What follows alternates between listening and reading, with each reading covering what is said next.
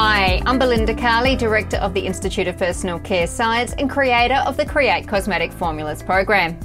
Now, I often get asked how do I add herbal extracts to a formula and how do I know how much to add to a formula, especially when you're getting started. Now, I've got some great free YouTube videos about herbal extracts, including one on how to make your own herbal extracts. But in this video, I'm going to show you how to use the Create Cosmetic Formulas program to pick and choose different types of herbal extracts and how to add them to your formulas easily. So, first, make sure you log in. And in this example, I'm just going to work with a serum to show you how to pick and choose different extracts to use in your formula. Now, one of the things the program does for you is helps you pick and choose the different types of ingredients you need to create that product form. In this case, we're making a serum. Now, when it comes to picking herbal extracts, your herbal extracts will fall into one of two categories. They will be an active ingredient or they will be an added extra. The types of herbal extracts that are considered active ingredients are those with efficacy data, clinical proof about their effectiveness, and claims. This is an example of the type of efficacy data you'll see with a material that we would consider an active ingredient.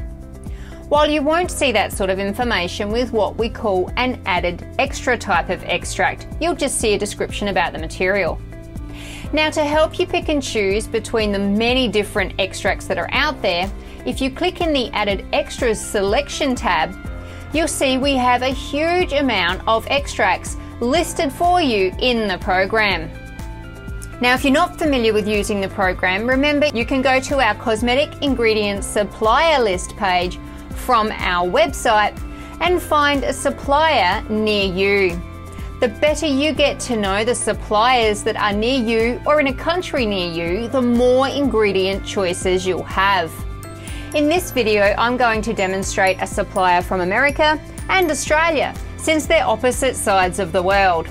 But remember to find a supplier that is near you or in a country near you so that you can expand your choices because different suppliers will be great at supplying different types of materials. So if one supplier doesn't have what you need, you do need to be prepared to find another one that might have the materials you need instead. And of course, I'm picking one from the USA and Australia because they're opposite sides of the world, so one of them will hopefully be a little closer to you too. I'm having a look at Formulator Sample Shop. They have a huge array of extracts to choose from, I'm also going to be taking a look at New Directions, who also have a huge array of extracts for you to choose from. Remember, in this video, I'm not discussing what we would consider active ingredients, those with efficacy data. I'll cover those in another video topic for you. Today, I'm looking specifically at what we would consider the added extra extracts, those without the efficacy data. And they are often in glycerin, water, or ethanol as their base. Now, different suppliers will have different types of extracts, which is why I've written the choices into the program like this. You'll also see I have listed an extract of your own choice. As long as it's glycerin, water, or ethanol based, it will also work in the formula where you see this as a selection. And of course, that video where I show you how to make your own extracts gives you a chance to make your extracts in glycerin or ethanol. It's up to you and they can be made from dried herbs. So if you can source dried herbs, you can make any type of extract you want. Now, in the program, I've also written the types of benefits or products that each different extract suits. So it helps shorten your selection process to pick the extracts that are going to specifically suit the type of formula you want to create. Let's take a look at how we might source them. So let's look for a ginkgo extract. So I would use the search bar of the supplier, type in the first word, and here I have an extract. Straight away, this one here, we can click on it and have a look and see that it's in a glycerin base. So if we have a look at our choice here, ginkgo leaf extract in a glycerin base, it's perfectly suitable to use. You'll see there was another choice too, ginkgo powder, so let's click on that one. And we can see that it is definitely a powder form. Now when you sign up to subscribe with the Create Cosmetic Formulas program, we tell you how to use powder extracts and convert them into a suitable glycerin water or ethanol base. So if you can only source powdered extracts, we tell you how to use them too. Let's take a look on the New Directions site. We're going to look for ginkgo again. Again, you can see it comes as a powder form and once you've subscribed with us, you'll get an information sheet explaining how to reconstitute the material to its liquid form. You can also see there is a ginkgo leaf in a water base. So again, it would suit the program perfectly to use this material. So let's select this extract and let's just pick another couple as well.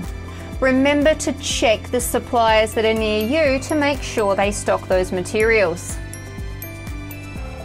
Now once you're in the formula, you can then write how much you want to add. The program is preset with limits to make sure that every formula is going to work for you. So if you try and add too much, it comes up with an error message and tells you there's something wrong and how you need to fix it. So if we go back and fix that, you'll see the program's happy and you can proceed with the rest of the formula. And once you select the rest of your ingredients,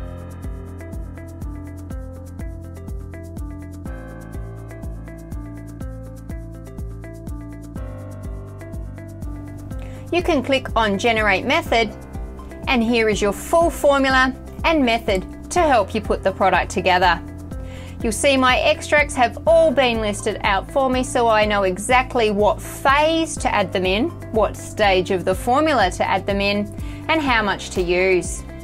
If you're not sure how to read a formula, please watch my video on how to write a formula which explains using the percentage weight input method to make sure every formula turns out exactly how you want it. Well, there you go. That's how to pick and choose different herbal extracts to use in your cosmetic formulas. Please give the video a thumbs up. Please have any questions or comments below and make sure you subscribe to createcosmeticformulas.com so you can get picking and choosing the herbal extracts you want to use in your formula with confidence so your formulas turn out right every single time. Happy formulating!